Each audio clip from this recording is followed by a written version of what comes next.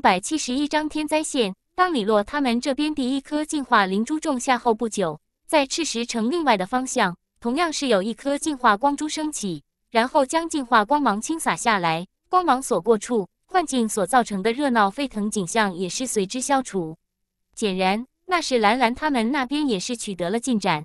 李洛收回眺望的目光，转向后方。此时，那边正有着一道道光影破空而来，然后陆陆续续的落下身来。那领先的两道身影，正是长公主、宫神君。同时，其他的队员也是纷纷归队。此前袭来的强大异类，看样子是被灭除或者逼退了。不过，看得出来，所有人都是经历了一番大战。即便是长公主与宫神君，周身的象力都是有些剧烈的沸腾，散发着一股强横的威压感。而其他的几名三星院的学长，更是身体上带着一点伤势。李洛，此次你们立了大功。长公主并不吝啬对李洛四人的表扬，毕竟他们四人能够以相失境的实力穿过危险的街道，最终将第一颗进化灵珠布置成功，这绝非是易事。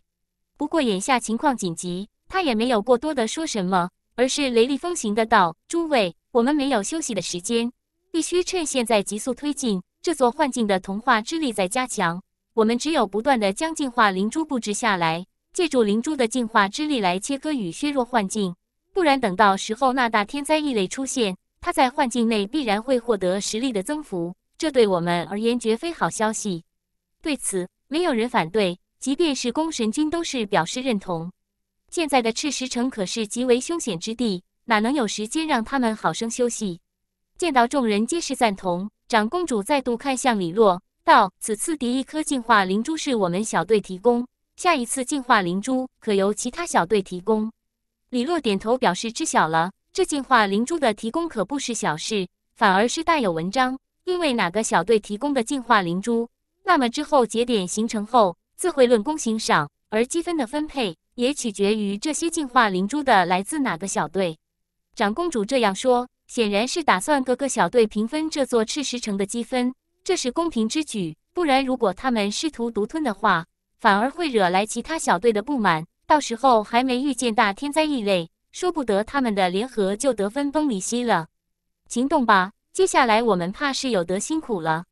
做好了提醒，长公主便是直接动身，剑影裹挟着磅礴香力，直接是冲向了赤石城更深处。其他人纷纷跟随。一时间，强悍的象力滚滚而动，气势也是异常宏大。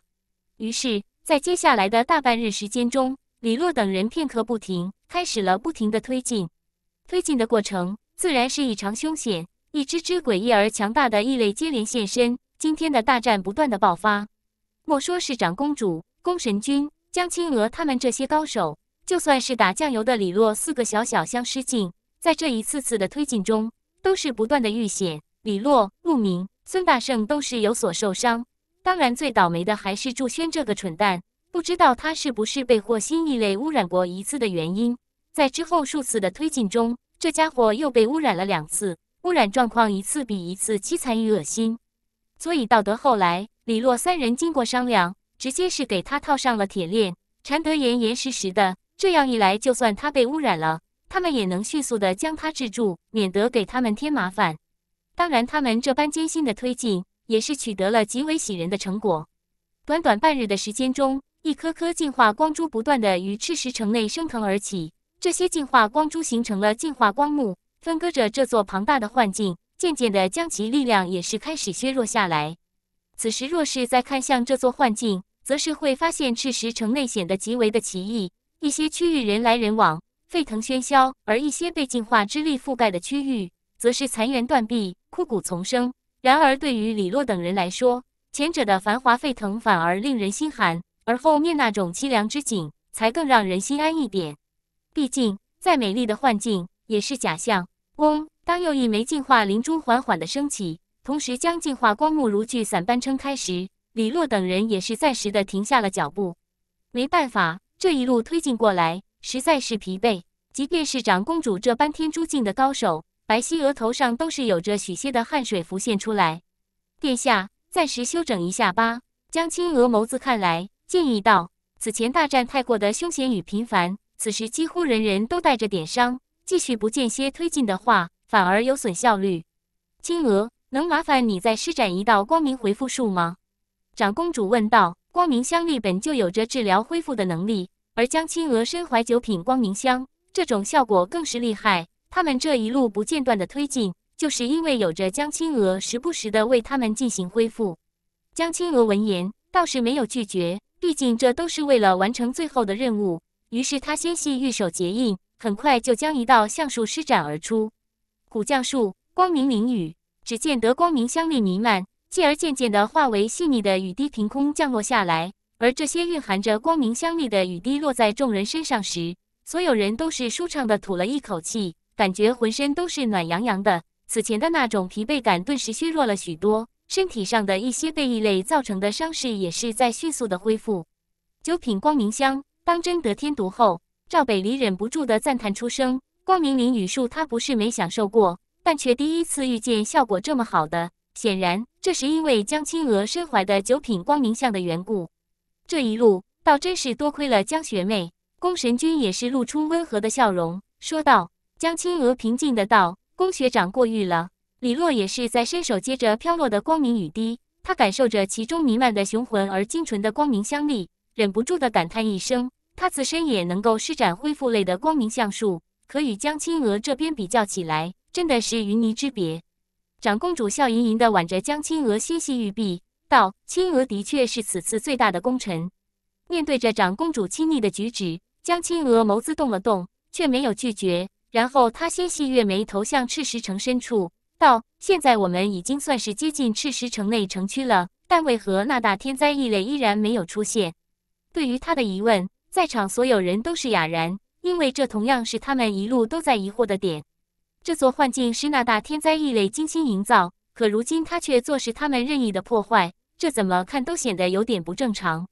难道是他故意要放他们深入到城内吗？可他们的目的就是要找到他，所以此举实在是有点多余，反而平白费了一座庞大的幻境。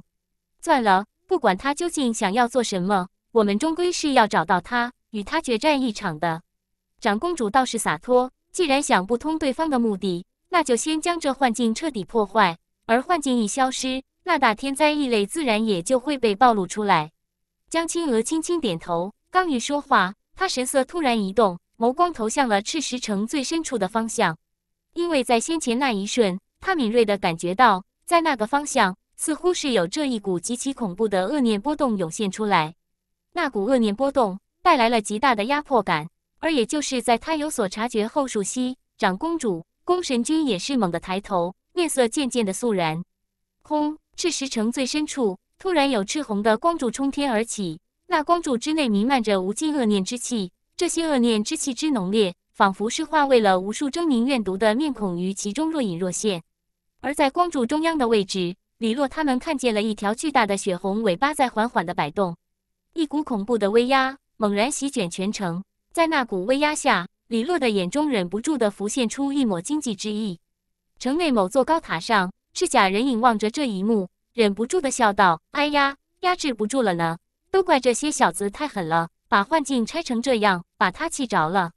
也罢，也差不多了。接下来就是好戏开演的时候了。”赤甲人影伸出手掌，轻轻一拍，而随着他手掌拍下的那一瞬，在那赤红光柱深处，那道趴伏在虚空。双目紧闭，背后摇曳着滴落着鲜血的巨大尾巴的妖娆人身上，有一道血红的符文悄然的燃烧起来，然后迅速的化为虚无。就当那道血红符文消失的时候，那有着妖娆面庞的倩影陡然睁开双瞳，双目之内弥漫着赤红，宛如两汪鲜血凝聚而成的血潭，令人不寒而栗。第五百七十二章混级赛的决战。轰！当血红光柱中那道身影睁开血瞳的时候。有滔天般的恶念之气冲天而起，顿时这赤石城上空恶念之气弥漫，仿佛是形成了层层粘稠腥臭的黑云。无数恐怖的诡异低语声开始响起来，并且对着在场众人心中无孔不入的钻去。长公主、宫神君、江青娥等人皆是面色凝重，眼中充斥着浓浓的忌惮之色。如此威势，这赤石城中果真是存在着一只大天灾级的异类，那可是相当于天相境的实力啊！而纵观他们这里的人，最强的也只是天珠境，比起天香境有不小的差距。但好在的是，他们人数占据着优势，而且如同兰兰、宫神君、长公主这些人，皆算是同阶中的精英，拥有着超长的战斗力。所以，即便是面对着一只大天灾级的异类，他们也并非就没有胜算。而当那大天灾显露的时候，另外一个方向突然有着一道道光影急掠而来，正是察觉到异状，急忙赶来的兰兰等人。果然是一只大天灾，兰兰现身，面庞也是变得凝重起来，眉头紧锁。看来此次真是要拼命了。那秦月也是叹了一口气，与一头大天灾相斗，这可是以前他从未有过之事。各位，接下来可有什么计划？一名队长问道。长公主俏脸露出思索之色，而后率先说道：“这赤石城内，除了这大天灾异类外，还有一些其他的异类尚存，这些异类也不可不防。”所以，我建议由我们八位队长联手对付大天灾异类，其他三星院的学员防备其他异类出现搅局。当然，青娥，你这里还请能够多留意一下，如果有机会的话，倒是可以帮我们分担一点压力。在场的天珠镜队长闻言，都是神色动了动，目光也是看了江青娥一眼。虽说江青娥如今只是地煞将阶的极煞境，这与他们这些天珠镜还差了一个境界，但没有人会真的小看于他。九品光明相的存在，足以让他拥有着越阶胜敌的能力。而且光明香本就对异类有一些克制效果，所以如果江青娥能够找到机会出手的话，说不得会对那大天灾级异类造成不小的威胁。而这则是能够缓解他们的压力，从而增加最终的胜算。对于长公主的话，江青娥也是轻轻颔首。眼下的大天灾异类是大敌，如果有机会的话，她自然会出手。长公主见状。俏脸上浮现出一抹明艳的笑容，而后又看向了李洛他们这些一星院、二星院的小拖油瓶们，道：“在我们与大天灾异类交手的时候，你们的任务也很重要，那就是趁这个时间把剩下的进化灵珠都布置出来。而一旦到时候进化节点完全成型，不仅会尽数扫除幻境，而且那所形成的净化之力也会对赤石城内所有的异类造成压制与消融，甚至就算是那大天灾级异类。”也会受到削弱，所以此事至关重要，希望你们能够完成。说到最后，长公主神色也是变得有些肃然起来，给人一种压迫感。李洛等人赶紧点头，毕竟大战当前，他们身为队伍中的一员，也的确必须有所付出，不能真的完全去当累赘。而长公主的这番布置很是妥当，所以其他的几名队长皆是点头表示认同。轰！也就是在这边做好安排的时候。那城中央的滔天血光陡然爆发，下一瞬，所有人都见到了一只血淋淋的巨大尾巴于虚空中缓缓的摇动。那血红尾巴异常的诡异，其上的每一根猩红的毛发都是在散发出一种凄厉的叫喊声，那声音之中蕴含着无边的痛苦与怨恨。这令得尾巴摆动时，整个天地间都充斥着那种凄厉的声音，令得人不寒而栗。目光顺着血淋淋的尾巴转下去，便是见到一个面容妖娆。身段玲珑有致的女子，女子脸颊上挂着柔媚的笑意，然而那一对血红的瞳孔，却是让得在场的众人都是心头一寒。眼前的大天灾异类，除了身后的血红尾巴过于诡异，其他的模样倒真是与人族没什么区别了。而众人明白，越是四人的异类，那么其实力也就越是强大。七夕，当那血尾异类出现的时候，天地间顿时有着柔媚的娇笑声响起。那笑声带着一种莫名的魔力，落在人的耳中，就令得在场除了八位队长外的其他人心中生出了诸多的欲望，继而渐渐身体发热，滚烫起来。多凝神静心，不要被其引诱，它能够勾动人心欲望，而欲望强盛起来，便是引火烧身。江青娥单手结印，有光明香力绽放出来，而在那光明香力的覆盖下，众人皆是感觉到内心一抹清明浮现。当即急忙屏蔽双耳，不敢再听那诱人的娇笑声。七夕，军尾异类摇曳着血淋淋的尾巴，玉足一点，数息后便是直接出现在了众人的前方。他血红的眼瞳扫过众人，妖娆的脸颊上虽然带着柔媚的笑意，但那眼中蕴含的凶残与阴森，却是怎么都遮掩不住。这血尾异类虽然有一副与人族完全相同的皮囊，但其内在却依旧是异类之形。所以他也没有任何要交流的想法，意念一动，这赤石城各处就有着其他的恶念之气爆发而起。显然，其他的异类也被他催动而来了。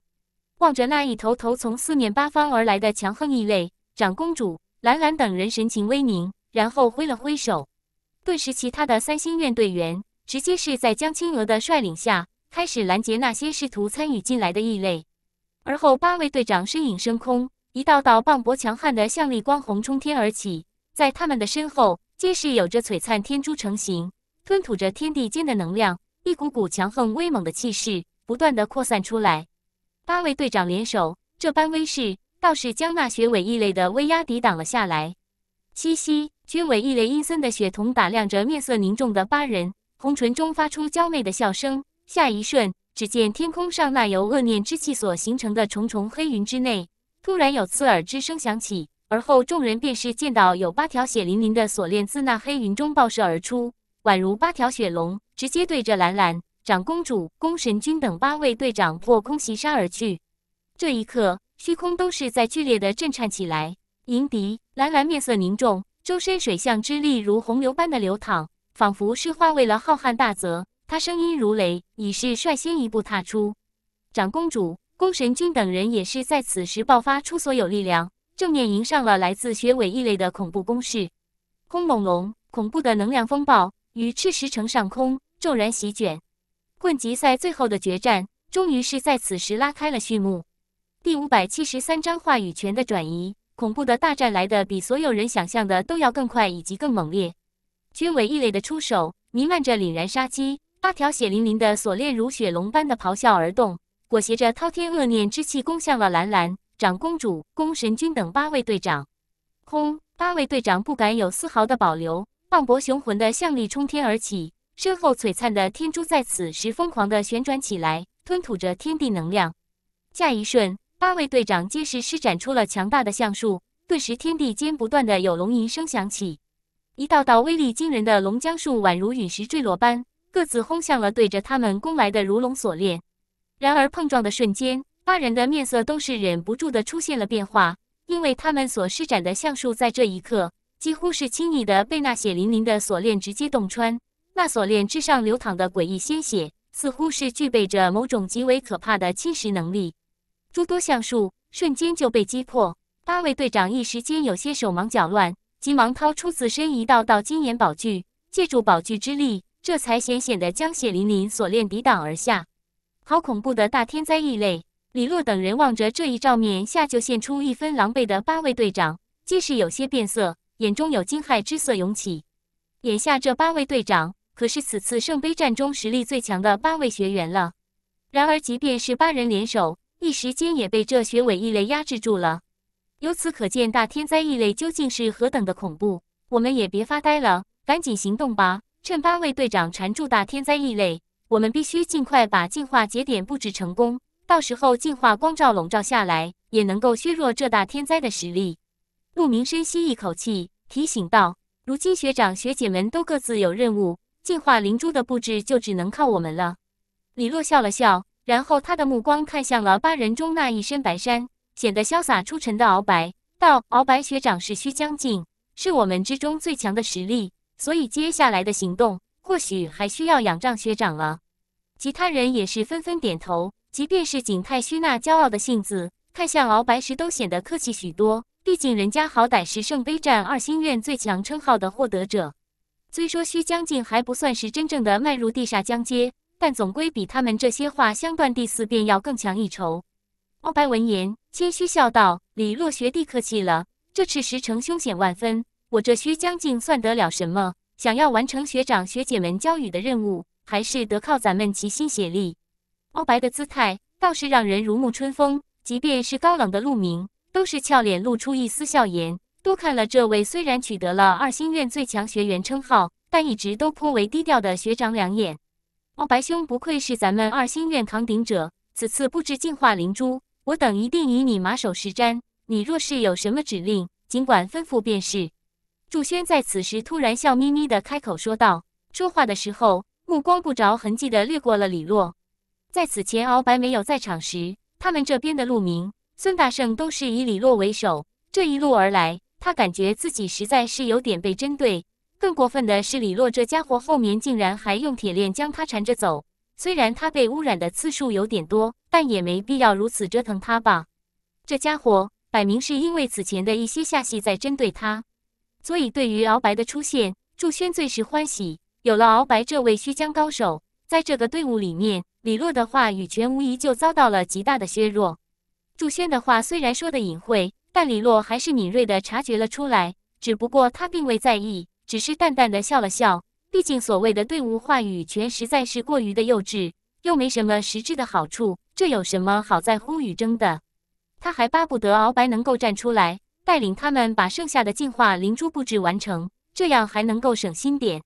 祝轩的话倒是引起了其他人的赞同。毕竟论起实力的话，鳌白不仅是二星院的学长，而且还是在场最强者。面对着众人的众星捧月，鳌白面现无奈，笑道：“马首是瞻之类的话就别说了，大家都是为了完成任务，反正之后推进，我们同心协力就行了。”他这态度。又是引得众人点头称是，不要磨磨唧唧了，赶紧动身吧。孙大圣则是不耐烦的说道：“上面打得惊天动地的，他们还在这里说这些没用的废话，也是让人烦躁。”欧白笑着点点头，而后也不再多说，转身就一马当先的对着下一个进化灵珠的布置点疾驰而去，在其身后，一行人赶紧跟上。李洛掉在队伍后面，速度不紧不慢。突然，他感觉到一道幽香靠近过来。眸光一抬，就见到陆明来到他身边，低声偷笑道：“李洛，你的位置被顶替了呢。”李洛白了他一眼，无聊。陆明轻笑道：“放心，我还是支持你的，因为我感觉你比那个鳌白更靠谱一些。我要你的支持做什么？咱们一群打酱油的，唯一的作用就是趁现在其他异类都被吸引，把进化灵珠布置好，然后我们就可以坐下来看戏了。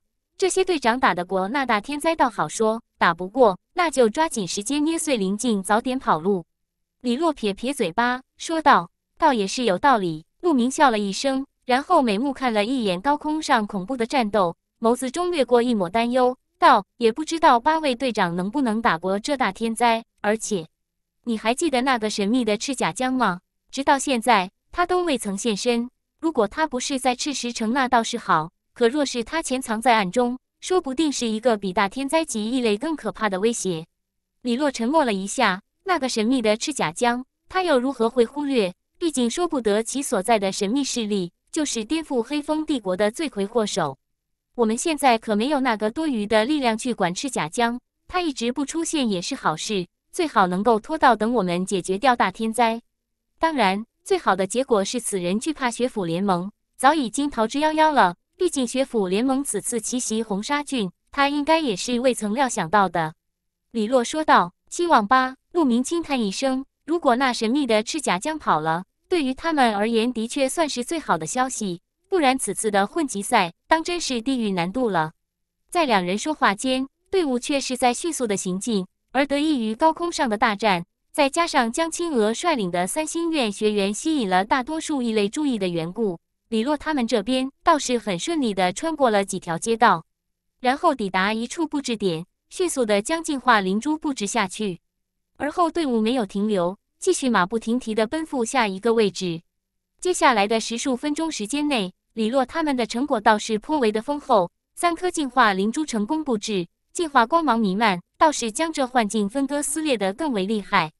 这期间也遇见了一些麻烦，但在一行人的联手下。倒是有惊无险的通过，而连李洛也不得不承认，有了鳌白的加入后，他们推进的速度提升了不少。曲江境的实力的确比画香断第四变要强上许多。如果能够这样顺利的把进化灵珠全部都给布置下去，李洛其实也很乐意诚心的恭维鳌白两句，同时以他马首是瞻。毕竟说好话又不要钱。而当八支队五个有分工的时候，在城内某处的高塔上，那道赤甲身影。也是时刻在窥探着城内的动静，他最多的注意力还是放在高空上长公主兰兰等人与雪尾异类的交手上面。这八个小家伙，倒的确不愧是个大学府的顶尖精英。赤甲江微笑着评价着，八人明明只是天珠境的实力，但个个天赋不弱，战斗力也是远超寻常同阶。这般人物，不论放在那里，都绝对是人中翘楚。如今他们八人联手，虽说刚开始有些狼狈。可渐渐的开始配合起来的时候，倒也是真的将学委异类给限制了起来，最起码能够把局面僵持住。而对于这个僵持的局面，赤甲将是最乐于所见。因为他就是需要两边都得油尽灯枯。不过这些相失禁的小东西，手脚倒是挺快的。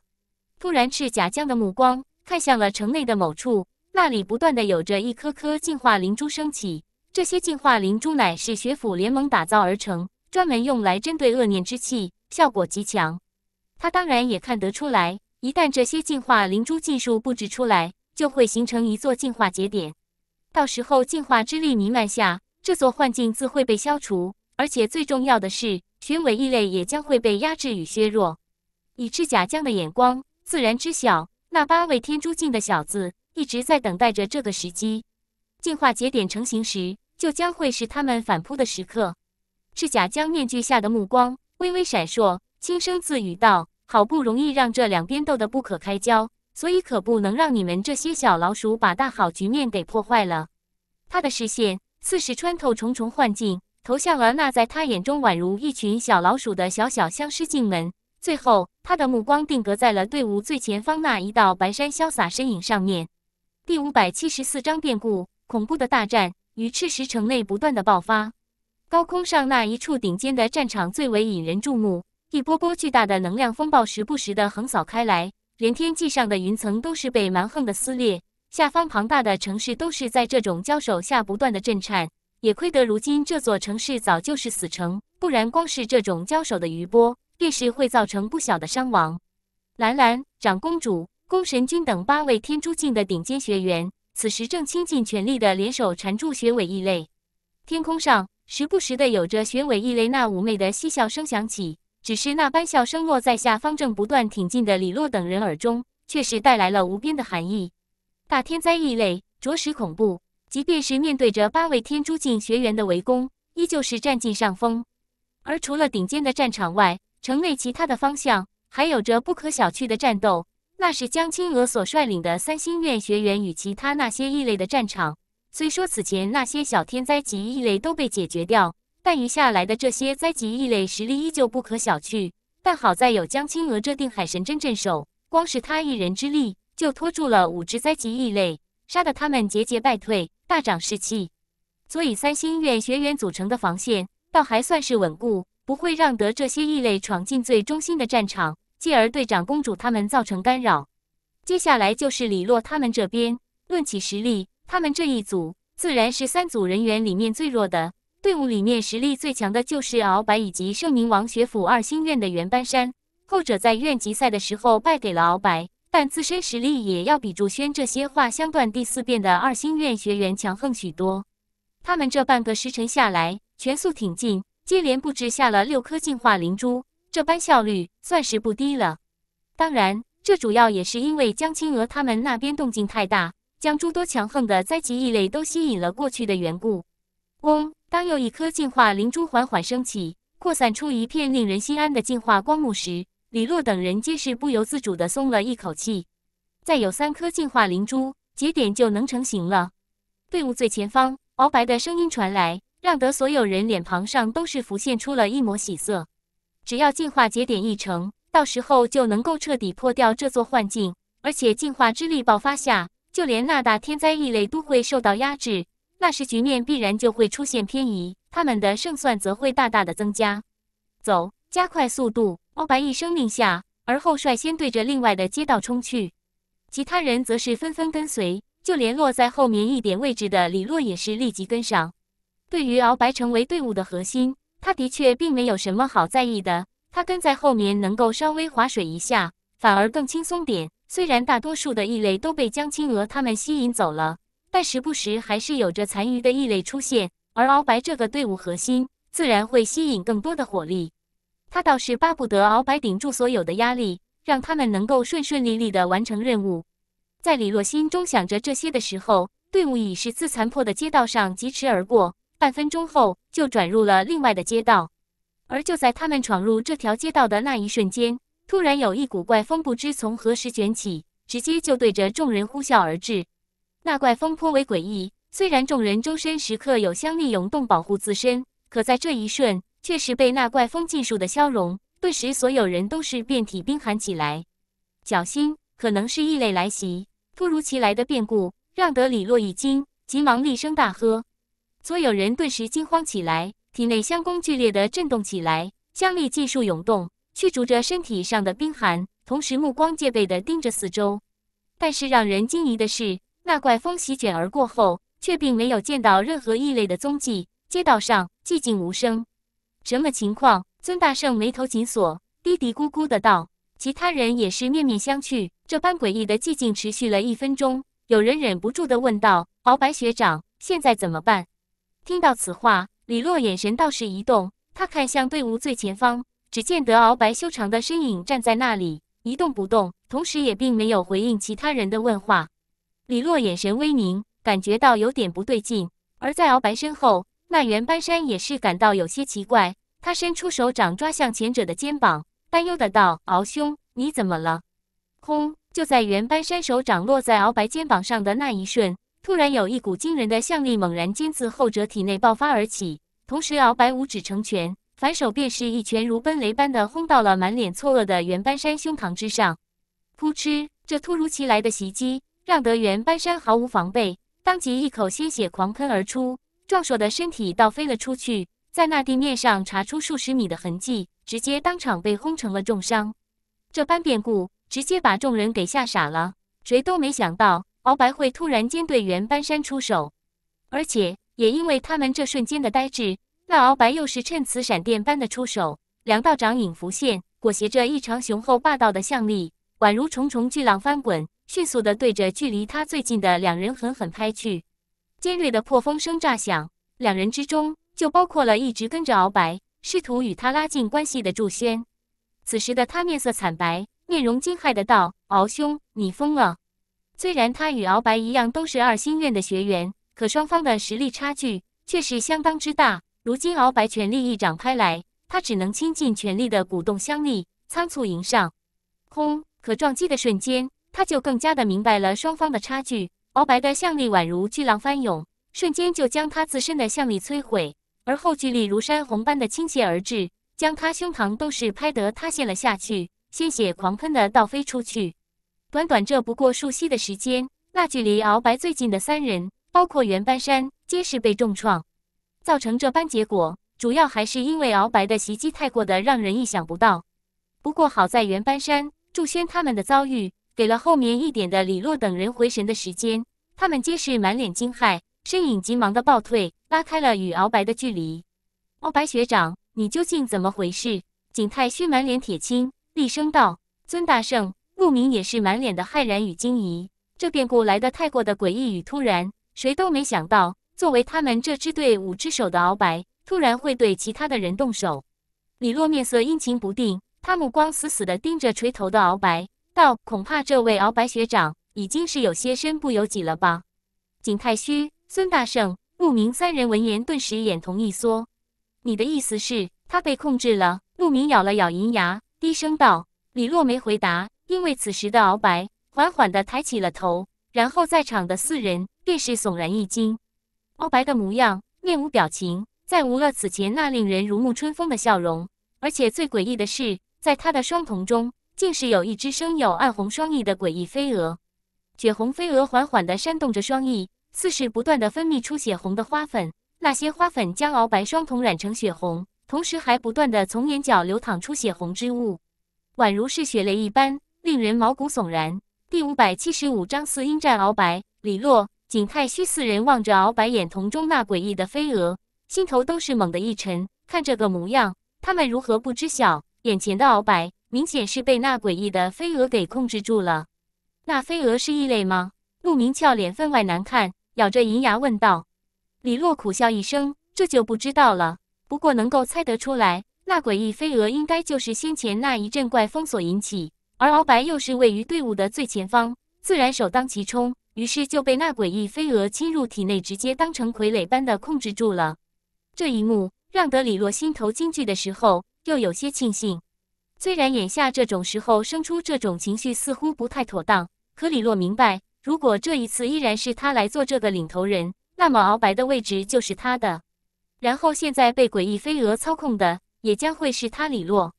连鳌白这种需将尽实力的人，连半点反抗都没做到就被操控住了。李洛可不敢狂妄地说他就能够避免这一灾劫。所以可以说，他李洛这一次算是侥幸的避开了一劫。果然，低调才是王道。李洛悄悄地抹了一把冷汗，这一刻，他突然的有点感谢祝轩这个倒霉蛋了。如果不是这家伙之前出言力挺敖白的话，或许后者也不打算做什么领头人。结果没过半个时辰，直接变成了被操控的傀儡，完犊子！而在李洛这边庆幸的时候，只见得那敖白那有血红飞蛾扇动一翅的双瞳，已是缓缓的抬起，眼神冷漠无情的盯着他们这边还尚存的四人。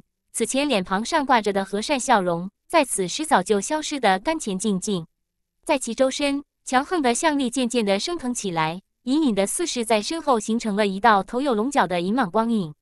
上八品银角龙蟒香，敖白的手中一柄银鳞三叉戟也是闪现了出来，有寒芒于戟间流转。麻烦了啊，他可是虚将境的实力，体内煞功已经接近成型，香力雄厚程度远比我们几个强悍。孙大圣紧握着铁棍，沉声说道。李洛也是眉头紧锁，敖白的实力毋庸置疑。人家好歹也是二星院的最强称号获得者，虚将境的实力比起祝轩这些二星院的人强了不知道多少。可惜，如果袁学长还有战斗力的话，那就容易许多了。景太虚无奈的说道。李洛看了一眼不远处重伤倒地昏迷过去的袁班山，心中同样是布满着无奈。袁班山的实力仅次于鳌白，如果他没有受伤的话，再加上他们几个人的协助，要制服鳌白应该不成问题。但先前敖白被控制那一瞬，第一时间就是对袁班山下了重手，直接将其战力废掉了。如此刁钻狠辣的出手，也不知道是无意还是经过精心策划的。三位，看来接下来我们要联手了。如果不将敖白学长击溃的话，布置进化灵珠的任务可能就要完不成了。李洛手掌一握，古朴的直刀出现在手中，他锁定敖白的目光也是渐渐的变得锐利起来。虽然虚将境的鳌白对于他们来说相当的棘手，但如今除了将其击溃，也没有其他的办法了。哈哈，有意思。原本以为在这次石城中没有我们出手的机会了，结果竟然还能和一位二星院的最强学员交手，真是让人喜出望外。尊大圣的眼中有炽热的战意升腾起来，手中铁棍重重跺地，地板顿时皲裂开来。少夸海口了，我宁愿顺顺利利，不要出这种幺蛾子。陆明白了这个战斗疯子一眼，没好气的说道：“景太虚面沉如水，虽说跟李洛不太对付，但他也明白，现在的他们必须齐心协力，不然只会被鳌白逐个击破。到时候若是耽误了净化灵珠的布置，恐怕将会影响此次混级赛的成败。所以他手掌一握，青色芭蕉扇闪现而出。李洛，一起吧！你我皆是话相断第四遍，我们两人联手，正面拦截鳌白学长。”陆明与孙大圣从旁袭击，如何？景太虚沉声说道。李洛手持玄象刀，瞥了景太虚一眼，笑眯眯的提醒道：“那你可要拿出全力，不要想着坑我。”景太虚冷哼道：“小人之心。”说话间，他已是直接出手。只见得手中青色芭蕉扇猛然扇下，青色香力席卷而出，化为数百道青色锋刃，带起尖锐的破风声，对着鳌白周身要害斩去。然而面对着他的出手，敖白却是面无表情。银色香力如巨浪般自其体内爆发开来，那香力横扫，瞬间就将那些青色锋刃尽数的抹灭。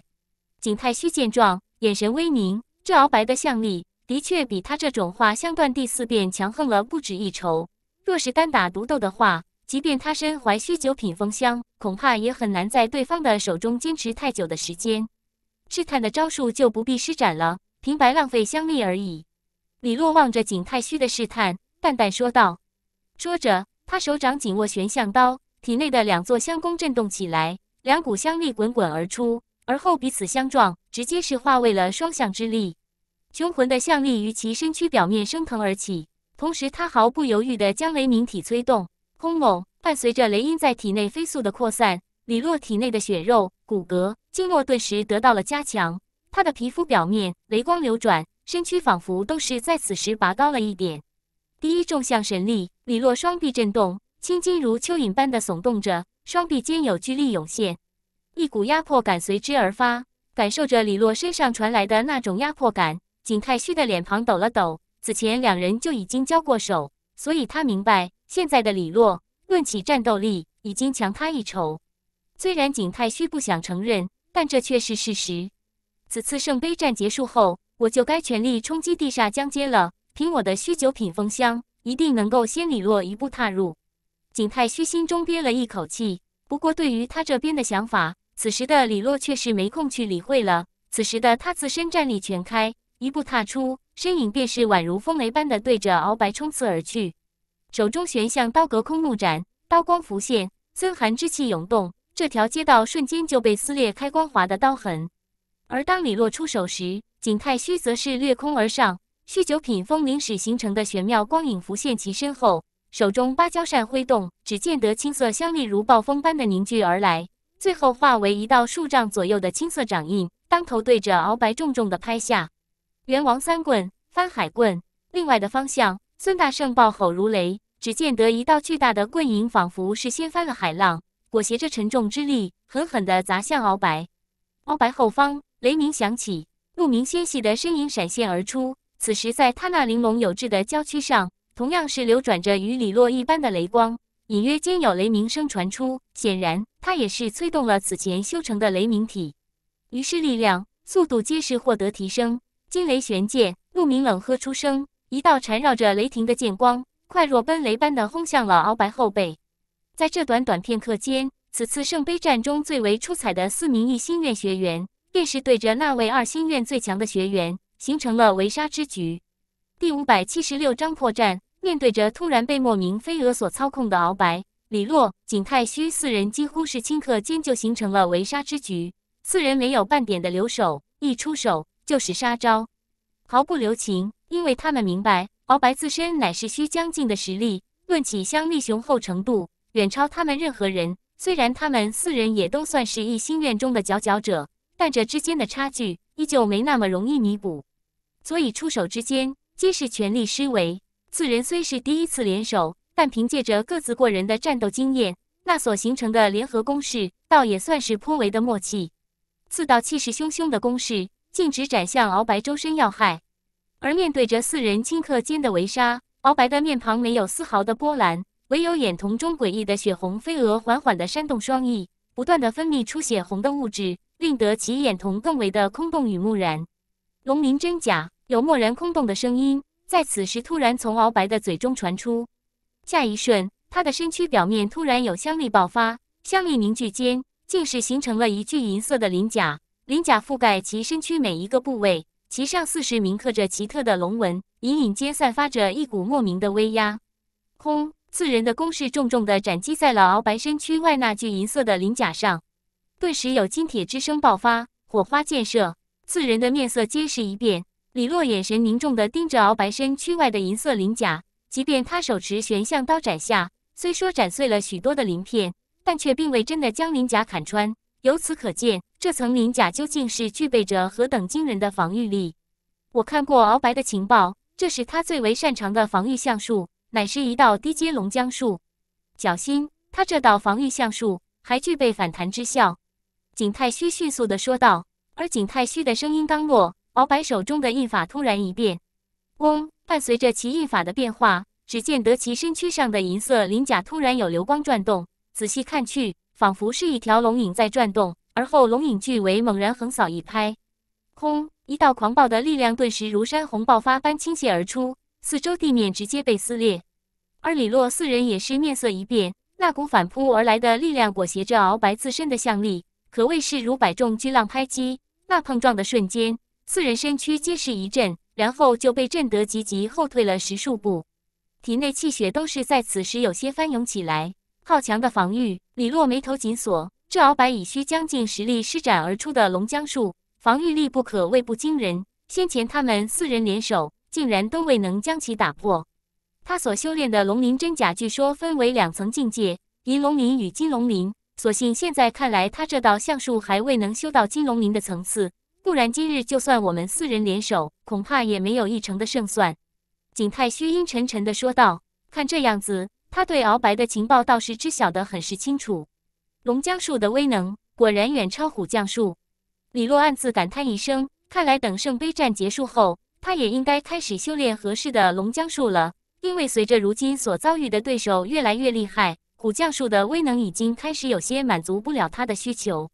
只是龙江术的施展对于香力的雄厚程度要求颇高，此前他也不是没有考虑过。但圣杯战之前，他不过才刚进入画香段没多久，香力还并不算雄厚。再加上龙江术的价值远超虎将术，即便是在他们洛兰府的藏书库中，龙江术也算是少见。所以，想要找寻一部适合他的龙江术，也并不是那么简单的事情。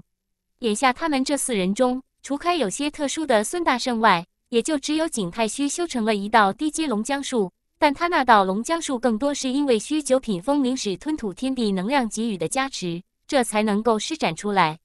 不过我如今距离败将阶不过一步之遥，等圣杯战结束后，倒是有资本修行龙江术了。为了日后的辅祭之变，我必须准备更多的底牌才行。在李洛心中想着这些的时候，那前方的鳌白却是开始了反击。只见得其周身银光涌动，一步踏出，便是如怒蛟般的奔掠而至。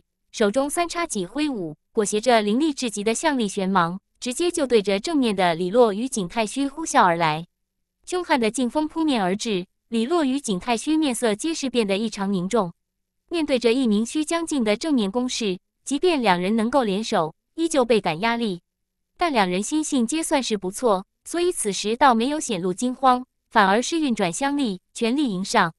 当当，全像刀与青色芭蕉扇裹挟着香力。在那片刻之间，与鳌白手中的三叉戟交击，顿时引得香力激荡，四周的空气都在这般余波下纷纷的被撕裂开来，传出了刺耳的声响。三人奋力交战，在这种正面交锋下，李洛与景太虚的面色皆是开始变化，因为他们此时才能够清晰的感受到了眼前这位虚将境学长所带来的压力有多强。那每一次三叉戟的挥下，都仿佛是裹挟着巨浪之力，他们两人每挡几次。就感觉到了双臂刺痛发麻。李洛借助着雷鸣体的增幅，倒是能够勉强将这种震荡之力硬抗下来。可景太虚那边，此时却已是虎口崩裂，鲜血自双掌流淌而下，显得颇为狼狈。画香断第四变与虚将境之间的差距，在此时一览无遗。元王三棍，擎天棍。而就在此时，一道爆吼如雷般的炸响，只见得孙大圣一跃而起，此时他面目狰狞。手中铁棍重重砸下，那一瞬，香力光芒涌动，仿佛是化为一根擎天巨棍，裹挟着磅礴煞气，狠狠地砸向鳌白天灵盖。头顶袭来的攻势，倒是让得鳌白身影一顿，而后其手中三叉戟化为一道银光呼啸而下，银光撕裂空气，犹如是蛟龙张牙舞爪的扑去。砰！巨声响彻，香力滚滚，孙大圣一口鲜血喷出，身躯狼狈地倒射而出。手中的铁棍都险些脱手飞出，但却被他死死地抓住。他自身还只是画香断第三变，比李洛与景太虚都要弱一筹，如此硬碰，自然是讨不了什么好处。傲白空洞漠然的目光锁定孙大圣，准备先将其斩杀。轰！可就在此时，忽有雷鸣声炸响，一道奇特的象力波动弥漫而出。只见得在场的孙大圣、李洛、景太虚等人突然变得扭曲起来。而后，凭空的多出了一道道的幻影，雷鸣声回荡在鳌白的耳中，他的身形仿佛是变得凝滞了一瞬，眼瞳中诡异的飞蛾扇动的翼翅也是变缓了一点。显然，这些虚虚实实的幻影让得他有些无法分辨。不过，这种凝滞也就持续了一息，而后鳌白便是挥动着三叉戟呼啸而下，在他那狂暴的攻势下，不管是幻影还是什么，皆是支离破碎。但这瞬息的变化。却依旧是被细心的陆明所察觉，于是陆明倩影出现在了李洛景太虚身侧。我发现那诡异飞蛾似乎有些惧怕雷霆香力，如果我能够将一道雷霆香力侵入敖白学长体内，或许可以将那诡异飞蛾震出来，从而令他脱离傀儡状态。陆明迅速地说着此前他的发现。李洛与景太虚闻言，顿时有些惊讶，这倒是一个很好的消息。不过现在有个问题。鳌白学长的龙鳞真甲一直庇护着他的身躯，如果不将这层鳞甲打破，我的雷象之力根本侵入不了他的体内。紧接着，陆明又是有些无奈的补充道：“他们四个人都只是画香段，面对着一位虚江高手施展的防御性龙江术，还真是有点头疼。鳌白学长的这道龙鳞真甲橡术防御力的确很强，但也不是真没办法击破。”李洛微微沉吟。道：“敖白学长被那诡异飞蛾操控，虽然能够施展相术，可流畅程度还是不及正常状态。比如眼下陆明施展的幻影，那诡异飞蛾并没有辨别的能力，所以我猜这飞蛾的灵智怕是不算高。我建议由我们三人施展最强之术，趁其被幻影迷惑的瞬间，同时攻击一处，以点破面，击溃龙鳞真假。尊大圣咧嘴笑道：“我可以施展魔元极意，这是我最强的攻击。不过此术我只能坚持十秒。”李洛眼神一动，这所谓的魔元极意，应该就是孙大圣所掌握的那一道残缺的封喉术了。其实从某种意义来说，或许这种状态下的孙大圣比他与景太虚都要强上一筹，只不过因为这短暂的十秒时间被限制的太狠。我也有一道龙江术。景太虚瞥了李洛一眼，他那道龙江术，自然就是在院级赛上与李洛拼到最后的天照风魔枪。李洛，你呢？你好像还没修成龙江术吧？景太虚微微有点得意地问道。李洛淡淡一笑，道：“还没修成龙江术，你就已经不是我的对手了。如果修成了，那这差距也太大了。”景太虚轻哼一声，道：“龙江术可不是你想修成就能修成的。”李洛却是不与他争辩，微笑道：“你不必管我，你们尽管将自身最强之术施展出来，最后的破防交给我来便是。”景太虚狐疑的看了一眼，但终归没有再说什么。最后一道幻影消失时，就开始动手。李洛看了一眼前方，陆明制造出来的幻影已经在敖白的极影呼啸下，即将尽数消失。而就当最后一道幻影消失的那一瞬，李洛三人眼神陡然凌厉下来。成与不成，就看这一次了。第五百七十七章改良相术，魔元极意。当最后一道幻影被敖白的极光撕裂的那一瞬。孙大圣率先发动了酝酿许久的最强杀招，只见得他的身躯在此时瞬间膨胀起来，漆黑的光泽自皮肤上面扩散开来，看上去宛如是黑色金属一般。他体内的鲜血在此时沸腾起来，血液与香力以一种特殊的方式凝结起来，继而开始在他的皮肤表面形成了一道道散发着莽荒之气的皱纹。皱纹呈现暗红色彩，透着无边的凶煞之气，而且。还有黝黑的光泽在其身后凝集延伸，竟是形成了一条漆黑的光尾，宛如猿猴之尾。尊大圣的双目在此时尽数的赤红，其内有令人心悸的狂暴之意升腾而起。现在的他，活脱脱的就是一头远古凶猿。那由其体内所散发而出的凶煞之气，就连一旁的李洛都是忍不住的有些色变。尊大圣虽然只是化香断第三变的实力，比他要弱上一级。可面对着此时的孙大圣，即便是李洛，都由衷的有一种心悸之感。你在院级赛上是怎么打败他的？李洛看向景太虚，惊讶的问道。按照他的感应，此时孙大圣的力量恐怕比他都要更强一筹。而具备这种力量的孙大圣，怎么会在院级赛上输给景太虚的？景太虚闻言，淡淡的道：“他的封喉术并不完整，一旦施展出此术，其自身神智将会被煞气淹没。”现在的他就如同一头没有智慧的凶猿罢了，只要避其锋芒，十秒之后，他自然就会从这种状态脱离出来，然后自身陷入虚弱。李洛哑然道：“我还以为你是正面击溃他的。”景太虚嘴角一抽道：“有更轻松的方式，我为什么要选择最蠢的一种？”轰！而在两人说话间，孙大圣那赤红的眼瞳却是直接锁定了前方的鳌白，而后他一步踏出。脚下的地面瞬间崩塌，石板直接被其一脚踩得粉碎。煞风呼啸，其身影如蛮牛般的冲向了鳌白。他也没有施展任何的相术，只是握着铁棍，直接就对着鳌白胸膛重重的砸了过去。刺耳的破风声炸响，这一棍之下，整条街道都开始崩裂。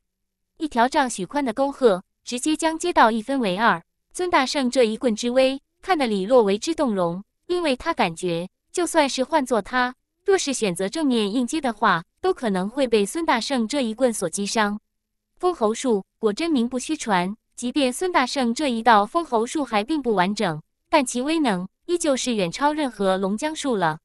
轰！不过李洛、景太虚在面对着孙大圣这一棍时，或许会选择避其锋芒，但此时被诡异飞蛾所操控的鳌白，却并没有这份理智，他没有半点的后退，手中三叉戟裹挟着雄浑狂暴的相力。银光划过半空，四巨龙甩尾，下一瞬直接与孙大圣这惊天一棍硬汉在了一起，宛如陨石相撞，极其狂暴的向力冲击波以两人为源头，骤然横扫开来，一道道裂痕似蜘蛛网一般对着四周飞快的蔓延。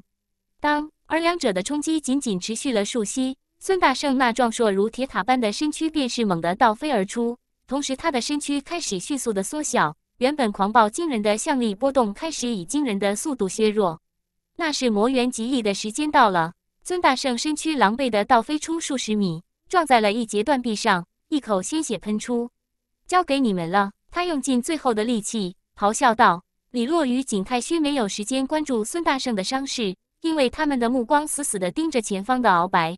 孙大圣先前那一棍并非是没有建树，那道棍影捅穿了鳌白的脊光，然后落在了其胸膛上，所以鳌白也是被震退了十数米，在其胸膛处，那银色的龙鳞破碎了大半。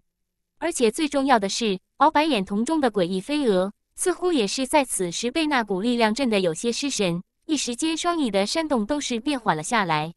低阶龙江术，天照风魔枪。景太虚没有任何的废话，手中青色芭蕉扇扇动，一柄能量重枪迅速的凝聚而成，然后伴随着狂风席卷，带起刺耳的呼啸破空声。趁着此时那诡异飞蛾还处于失神状态中。快若奔雷般的对着鳌白的胸膛位置轰击而去。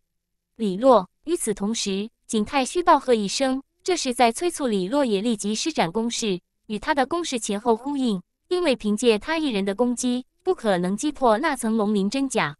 李洛深吸一口气，体内香力在此时毫无保留地运转而起，他的手掌紧握玄象刀，刀刃之上似是有玄芒吞吐不定。下一刻，有波光粼粼的刀光凝聚而成。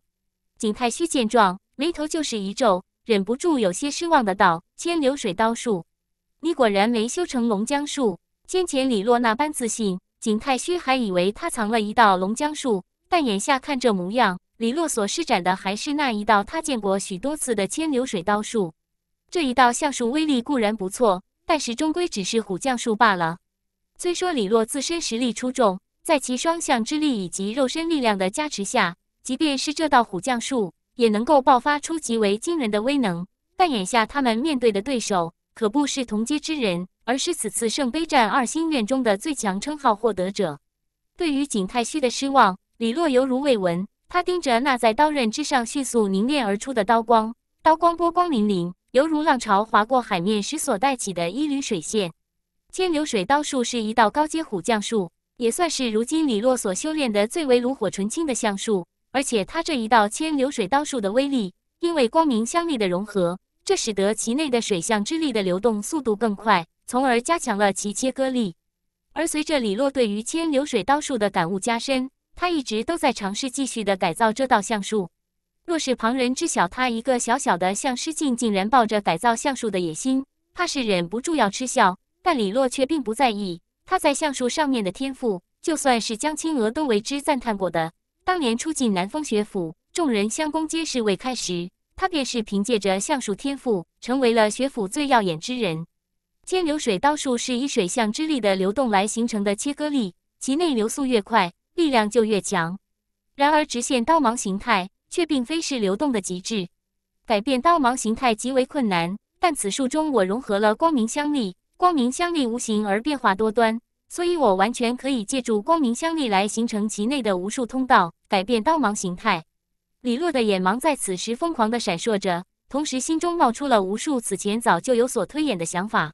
最终，他眼神一凝，不再犹豫，体内的光明相力在此时尽数的流淌而出，灌注进了刀身上渐渐凝聚的刀芒之中。同时，他心念一动，这些光明相力开始在刀芒内形成了无数孔洞的通道。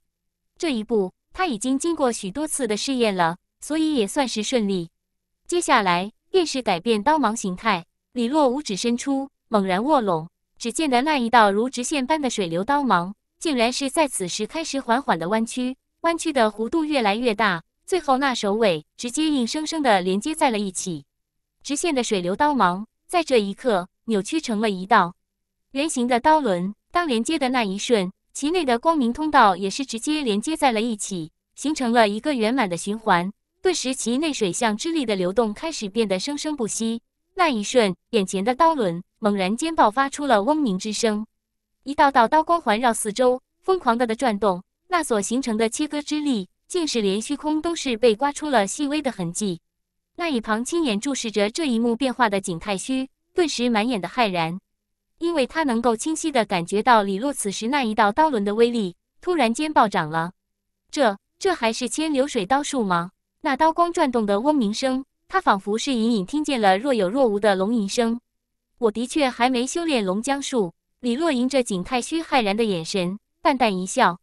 不过我这改良的虎将术，似乎也不逊色于真正的龙江术吧？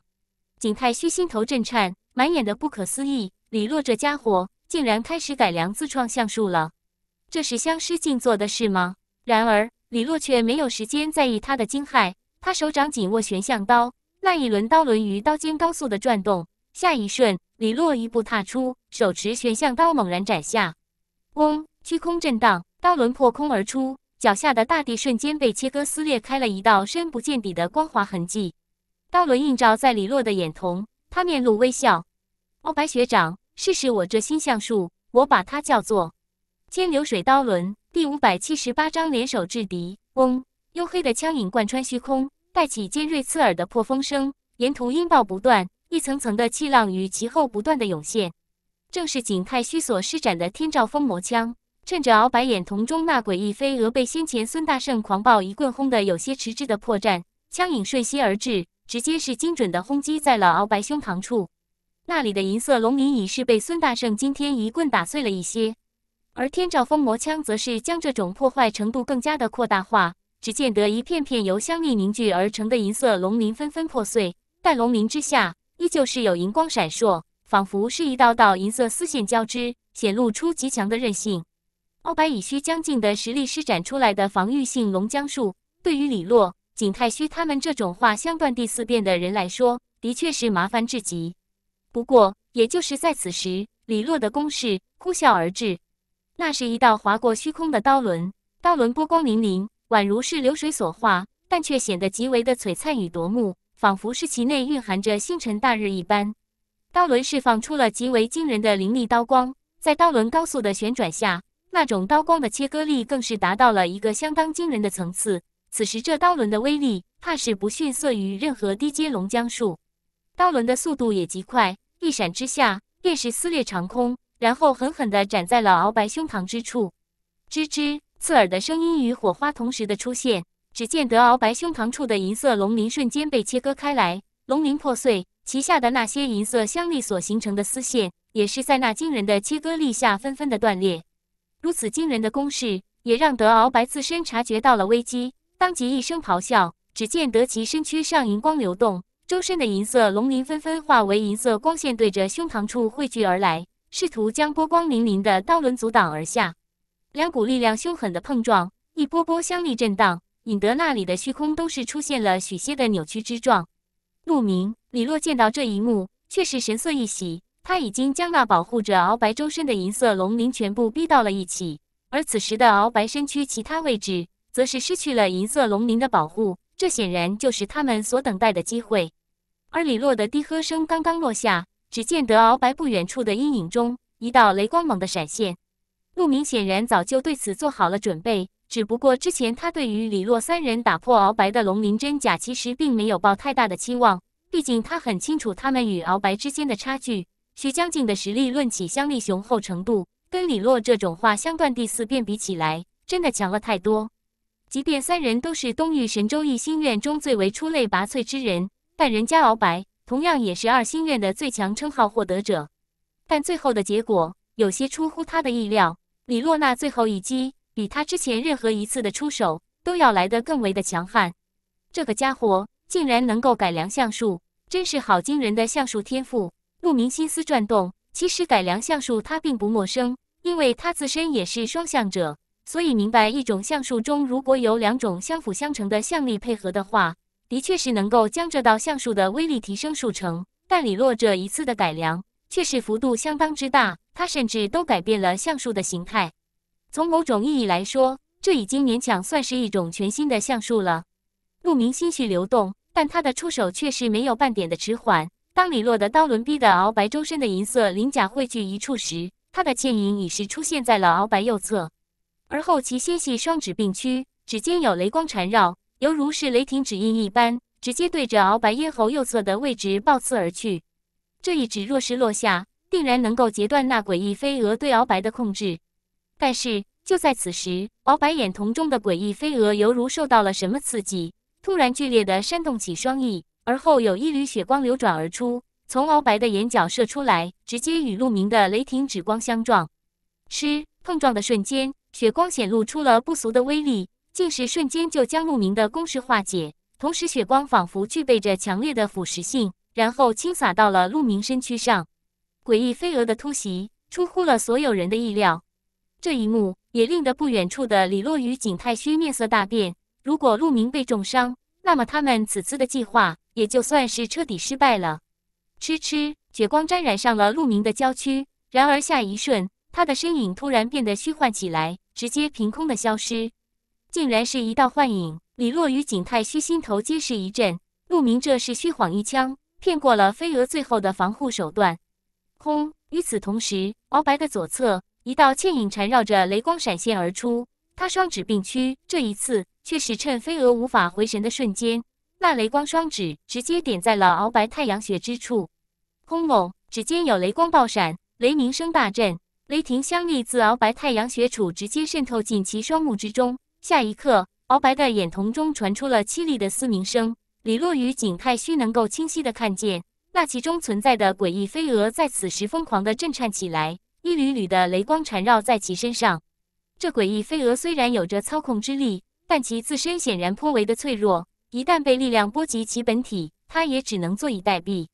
于是，数息之后，诡异飞蛾再也承受不住那一缕雷霆相力的轰击，直接是凭空的破碎开来。化为了血色的粉末，这些粉末顺着鳌白的眼角流淌下来，化为渗人的血泪。陆明飘身后退，美眸紧张与戒备地盯着突然间停滞起来的鳌白。李洛与景太虚也是保持着警惕，在几人戒备的注视中，鳌白眼中的血红粉末倒是尽数的流淌了出来。下一刻，他突然一口鲜血狂喷而出，面色瞬间变得惨白起来。几位，给你们添麻烦了。而后有沙哑的声音。从他的嘴中传出来，李洛四人望着敖白那渐渐恢复清明之色的眼睛，倒是忍不住的松了一口气。看样子敖白似乎是恢复了过来，不过李洛还是保持着谨慎，笑道：“敖白学长，此事与你无关。那飞蛾太过的诡异，谁也避免不了。不过为了保险起见，我建议敖白学长暂时不要动，停在那里休养就好。”欧白闻言，苦涩的一笑，道：“李洛学弟的谨慎是有必要的。”放心吧，我现在香力消耗严重，也动弹不了。先前他虽然是被操控状态，但也能够看见李洛他们的战斗。为了将他制服，李洛四人显然也是倾尽了全力，这才险险得手。景太虚、孙大圣、陆明三人也没有说话，显然对于李洛的谨慎，他们都很赞同。接下来还有三颗进化灵珠，此事就要麻烦四位了。欧白就地坐下来，三叉戟也被他收起。欧白学长，等我们的好消息就行。”李洛笑道，然后对着三人使了一个眼色，于是四人便是绕开了鳌白，没有过多的停留，皆是赶紧对着下一个进化灵珠的布置点疾驰而去。咦，高塔上一直关注雪尾一雷那边的赤甲身影突然发出了一道惊疑声，而后他的目光投向了城中的某处，那面甲下的眼中掠过惊讶之色。鬼蛾被灭了，那四个相失境的小子。竟然解决了一名虚将境，赤甲人影啧啧说道：“不愧是个大学府中的顶尖精英呢，还真是潜力不小。”不过他也没有过多的动作了，因为他自身并不能离开高塔，他需要在这里为之后的谋划做好准备，所以他只是漠然的一笑，收回了目光。也罢，拖延的时间也差不多了，再持续下去，那八个天珠境的小子恐怕也快顶不住了。第五百七十九章反扑时刻。赤石城的上空，一波波惊天动地的能量风暴不断的横扫开来。在那种级别的风暴下，整个城市仿佛都是在颤抖。高空的大战极其的激烈，八位天珠境的顶尖学员倾尽全力的在阻拦着那雪尾异类。在他们的身后，璀璨的天珠耀眼异常，吞吐着天地能量，气势惊人。然而，即便如此，任谁都看得出来，在双方的交战中，雪尾异类处于绝对的上风。此时的八人中，类似兰兰、长公主、宫神君这般实力最强的道士还好说，可类似秦月、赵北离等人身上却是开始出现了伤势。秦月最惨，一条血淋淋的伤口撕裂了衣衫，从右肩拉扯到小腹的位置，这伤口异常的狰狞，而且在那伤口处，仿佛可见诡异的血红毛发在蠕动着。这是来自雪尾异类那条诡异的血淋淋尾巴。这些血红毛发在阻拦着秦月伤势的自愈，同时也给他带来了极大的痛苦。此时的他面色苍白，满头的冷汗，但为了不拖后腿，他则是咬牙硬撑。而长公主等人也是明白他的处境，所以倒是主动的为他遮蔽了许多的攻势，以免他这边被雪尾异类当做突破点。如今他们八人联手本就处于劣势。如果有人被重伤出局，其他人无疑将会面临更大的压力。高空中，长公主娇艳的脸蛋布满着凝重，她手持青玉权杖，道道青光体链不断的呼啸而出，金光内有青鸾光影成型，裹挟着惊人气势，不断的对着雪尾异雷攻去。然而，她的这些攻势皆是被那血淋淋的尾巴一扫即散。望着雪尾异雷那不断倾洒着鲜血的巨大尾巴，长公主的眼中闪过浓浓的忌惮之色。那血尾似乎就是血尾异类的力量源泉，其上流淌的鲜血充满着极其霸道阴毒的力量。若是被侵入体内，连肉身都会被侵蚀，难以化解。每一次当那血尾扫过时，他们八人皆是会狼狈的躲避。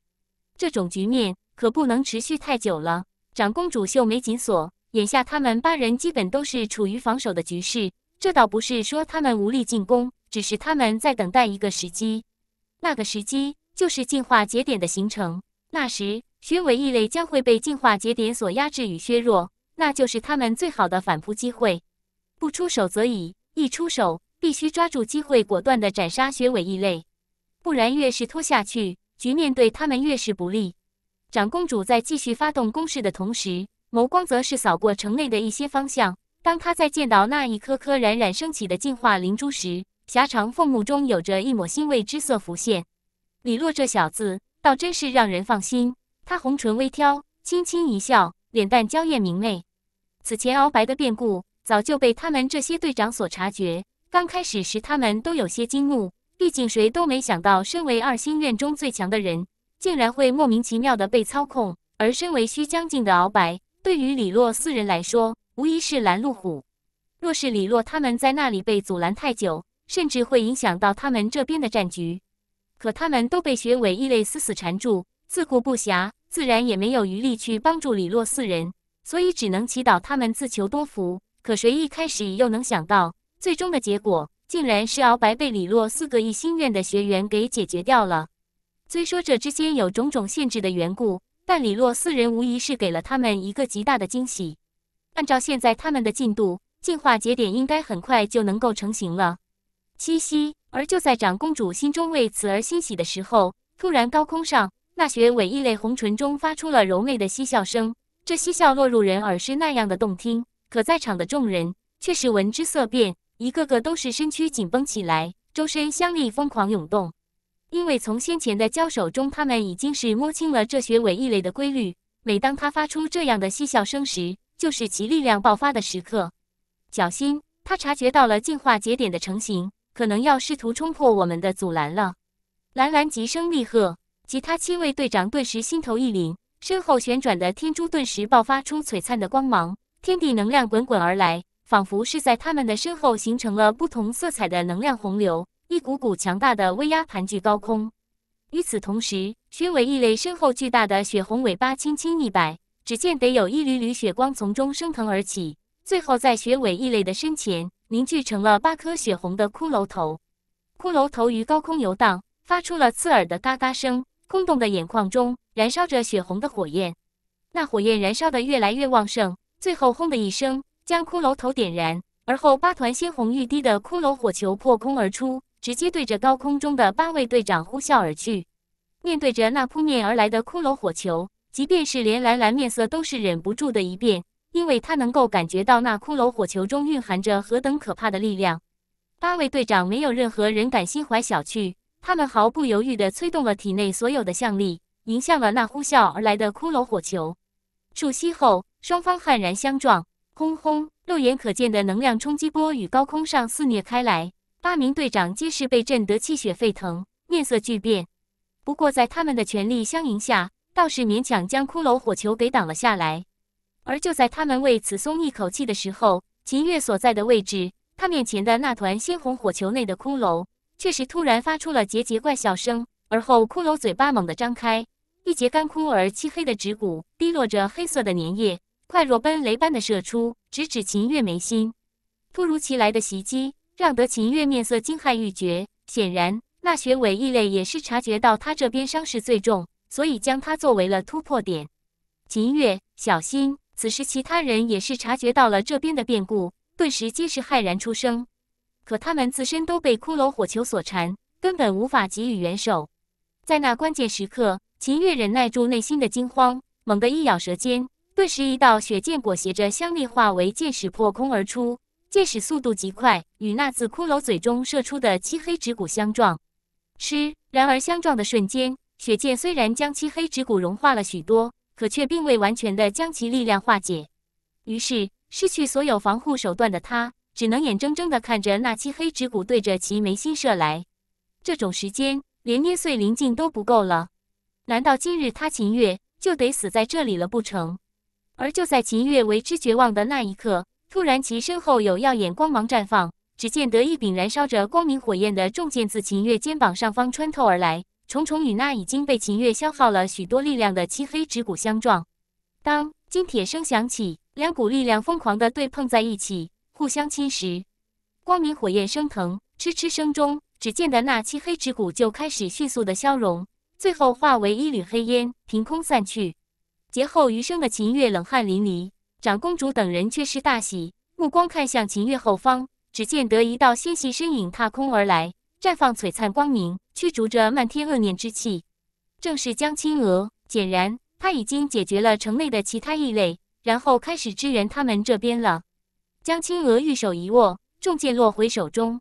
一旁惊魂未定的秦月感激的道：“江学妹，谢谢你出手相救。”江青娥绝美的容颜一片平静，她眸光看向其他几名队长，道：“诸位，时候差不多了。”听到他此话，众人心头顿时一动。似是有所察觉的，将目光投向了城内的某个方向。只见得那里一颗进化灵珠缓缓的升起，那是最后一颗进化灵珠。而当这颗进化灵珠升起时，顿时爆发出一道道的进化光线。这些光线穿梭在赤石城内，将一颗颗进化灵珠尽数的连接起来。下一刻，磅礴的进化光芒如月光般的倾洒下来，然后这赤石城内的无数幻境都是在此时开始迅速的融化。繁华喧嚣褪去，取而代之的是那枯骨杂草遍布的废墟之城。对于这一幕，众人心情格外的复杂，沉重的同时，又是重重的松了一口气。因为进化节点成型，那就代表着他们的反扑时机终于来到。第五百八十章队长攻势。嗡嗡，当那磅礴的进化之力形成光圈，一波波的扩散开来，最后直接是覆盖了整座城市时，赤石城内的繁华与喧嚣在消退。那巍峨的赤红城墙也是迅速的变得残破与斑驳。短短数息的时间，那原本还充斥着沸腾人气的城市，便是变成了一座阴冷的死城。满城扭曲的枯骨，显露着此处曾经爆发了何等残酷的景象。一座四面透风的残破建筑屋顶上，李洛眼神复杂的望着四周变幻的场景。此时，在他的头顶上方，一颗进化灵珠绽放光彩，同时连接着城内的诸多进化灵珠。随着这些进化之力不断的连接，进化节点也在此时即将成型。据说这赤石城繁盛时有数百万人。陆明轻声道：“即便是大条的孙大圣，此时都是沉默下来。那数百万人，不知道其中有多少是这城中的累累白骨。这些异类真的是凶残冷酷到了极点。今日这里也是那畜生的埋骨之地。”李洛抬起头，望向高空那处将会决定最后结果的战场。此时，伴随着进化节点的成型，城内的幻境也随之消散。在这般磅礴的进化之力下，即便是那大天灾级异类，也将会受到压制与削弱。这将会是八位队长最好的反击机会。先前八人虽说学尾异类压制得极为的狼狈，这倒也不是他们完全无法抗衡，而是因为他们在等待时机。而现在，时机来了。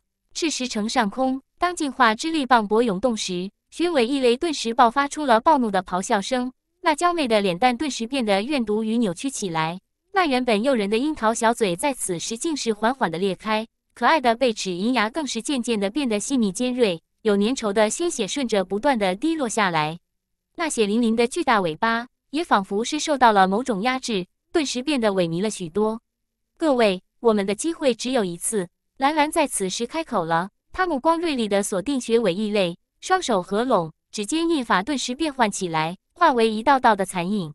不要再留手了，拿出你们最强的手段吧！听到兰兰的话语，高空中其他七位队长似也是在此时松了一口气。再拖下去的话，我怕是连施展最后攻击的力量都快没了。秦月苦笑着，龙江树，万山灵诀。他双手合拢，直接将自身最强的手段施展而出。只见得磅礴香力如洪流般呼啸，直接于其上方的虚空处，形成了一座约莫百丈左右的暗黄色山岳。山岳似是散发着无边沉重之力，引得虚空都是在震荡。龙江树，玄冥离火。赵北离面庞上玄光流动，最后嘴巴一张，一团深蓝色的火苗缓缓地飘出。顿时间，天地间温度大涨。龙江树，尸魔拳。连宗狂笑，拳影震空，带起了惊天动地的尸啸之音。拳风之间，可见一头巨大的黑色狮子踏空而来，散发着滔天凶力。龙江树，青鸾剑诀。长公主玉手握着青玉权杖，无边的青光如潮水般的蔓延而出。金光之内，一朵青色剑莲徐徐的生成，莲花枝瓣转动间，无边剑气冲荡虚空。宫神君神色平静，不起波澜。他双指并屈，指尖似是有银色的象力勾勒，然后形成了极为精妙的象力符文。这直接是令得其双指犹如是玉化了一般，晶莹剔透。龙江树，碧玉分海指。各大队长皆是施展出各自早就酝酿许久的杀招，当然最不可忽视的还是那位于后方一点位置的蓝蓝，因为在其身后那道巨大的神秘影子，再度裹挟着一种莫名而浩瀚的威压，出现在了这天地之间。面对着八大队长暴起的杀招，即便是那玄尾异类，此时都是眼瞳剧烈的一缩，身后血淋淋的尾巴呼啸转动起来，漫天雪雨开始降临。动手！伴随着长公主一声娇喝，队长们那气势凶悍的攻势瞬间发动，顿时间天地间能量激荡，尖锐刺耳的破风声响彻不停。七军委异雷爆发出尖笑声，下一瞬，漫天雪雨汇聚而来，直接是在他的脚下化为了一片翻滚的雪海。雪海之内，似是有无数人影沉浮，他们在其中发出绝望的惨嚎声，看那模样，似乎正是赤石城的城民。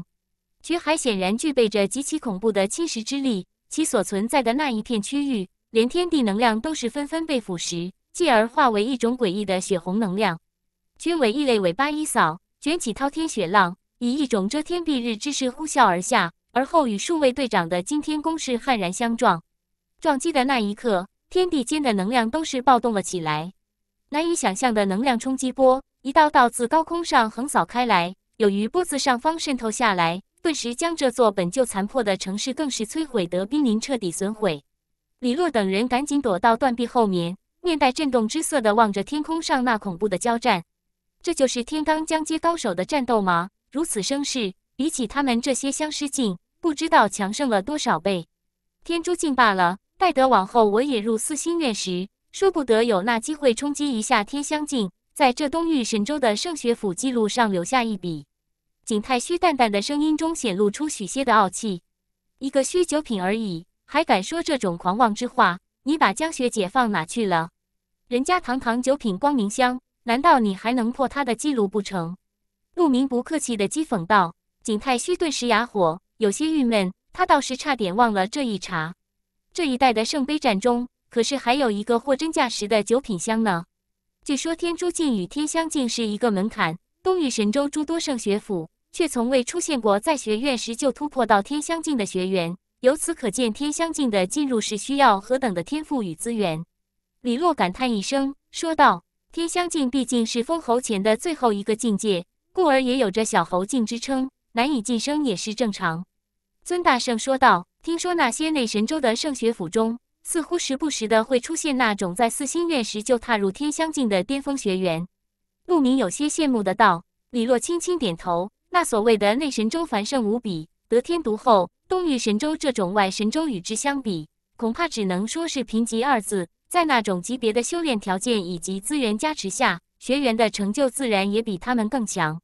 这一点是天生的，羡慕不来。不过四星院的天香境已将青娥自身的天赋，即便是在圣玄星学府，也未必没有冲击的可能。甚至连他，只要等他踏入地煞江阶，将第三道后天之香填入最后一个空箱，三香加持之下，他的修炼速度恐怕不会弱于真正的九品香。到时候，说不得连他都能去尝试一下。轰轰！而当他们在这里闲聊的时候，天空上的能量震荡愈发的恐怖，天地间狂风大作，其间夹杂着狂暴的能量，宛如刀锋一般，令人不适。刺人惊悸的目光看去，只见天空上那肆虐的血海，直接是硬生生的吃下了数道恐怖的攻势。不过血海也并非是完好无损，此时其规模比起先前明显的缩水了数成。那血尾异类的气势，也是不如此前那般凶威滔天了。蓝蓝学长的冥王三拜要发动了，景太虚突然说道。李洛心头一动，目光一转，看向了天空一处，只见的那里，蓝蓝身后的神秘影子愈发的清晰，一股似是至尊至贵的气息缓缓的散发出来。这一瞬，似乎天地都将会屈居其下。王者之影，蓝蓝的一缕头发在此时转为灰白之色。而他的面色却是异常漠然，然后他遥遥的对着雪尾异类，缓缓地弯身，其身后至尊至贵的神秘影子也是随着他一点点地弯下腰。轰隆！这一瞬，天地震动了，